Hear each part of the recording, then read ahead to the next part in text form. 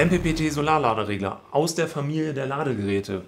Ladegeräte laden deine Bordbatterie, in diesem Fall vom Solarpanel.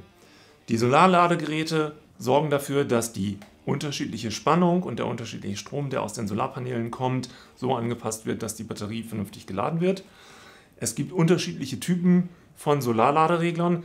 Der MPPT hat sich durchgesetzt. Der MPPT-Solarladeregler sorgt immer dafür, dass die Batterie mit der maximalen Leistung, die das Solarpanel zur Verfügung stellen kann, optimal geladen wird.